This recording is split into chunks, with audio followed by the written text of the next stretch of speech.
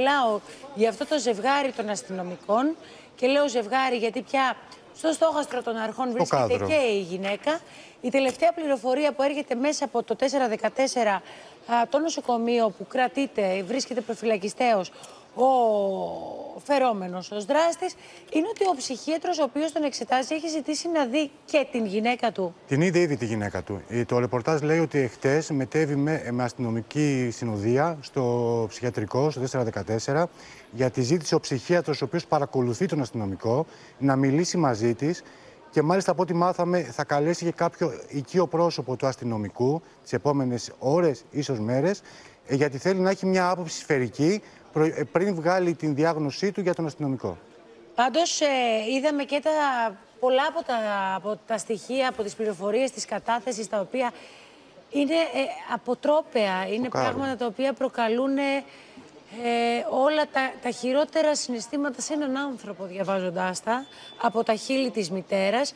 Αλλά μένει να δούμε αυτή η κατάθεση και αυτή η εξιστόρηση της ιστορίας ουσιαστικά έγινε τις προηγούμενες ημέρες. Μένει να δούμε τώρα τι θα απαντήσει αυτή η γυναίκα στα όσα α, ερωτήματα έχουν δημιουργηθεί μετά τον ισχυρισμό του συζύγου της ότι εκείνη φταίει για όλα και είναι...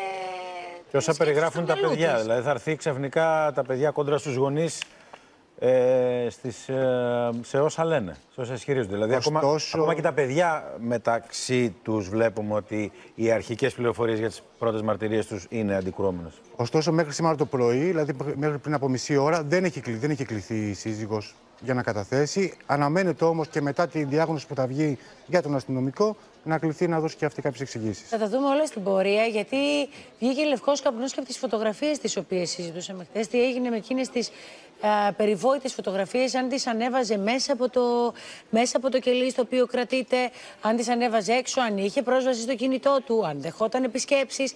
Γιατί ακριβώς όπως συζητήσαμε χθες, τελικά ήταν ένας σκοτσέζι κοντούζο. όλο Ακριβώς, αυτό. γιατί τελικά όπως αποδείχτηκε, ο αστυνομικός είχε στο κελί του το κινητό τηλέφωνο μέχρι τη στιγμή όπου τα απαγγέλθηκαν κατηγορίες, οπότε και μετά ήταν κρατούμενος. Τότε του πήραν το κινητό τηλέφωνο και το κινητό το πήραν γιατί όπως έχουμε ξαναπεί, στη, στη δικογραφία που θα σχηματιστεί υπάρχει η κατηγορία της πορνογραφίας. Και θέλανε να δουν αν το κινητό αυτό έχει μέσα κάποια αποδεικτικά, κάποια βίντεο, κάποιες φωτογραφίες για, την κα- για να, που να αποδεικνύουν την κατηγορία αυτή. Το οποίο φαντάζομαι, Μάκη, ότι σε αυτή την περίπτωση γίνεται και άρση τηλεφωνικού απορρίτου. Θα δουν στοιχεία που έχουν σβηστεί, θα βρουν από υπολογιστές, από το σπίτι πράγματα μέσα. Ελένη, επί τρεις ώρες έκαναν φίλο και φτερό το σπίτι τους, στο σπίτι που έμενε η οικογένεια. Έχουν πάρει το κινη- κινητό- δύο κινητά τηλέφωνα. Έχουν βρει κάποιες παλιότερες συσκευές, οι οποίες και αυτές έχουν σταλεί στα εγκληματολογικά. Ένα λάπτοπ και, ένα, και έναν υπολογιστή.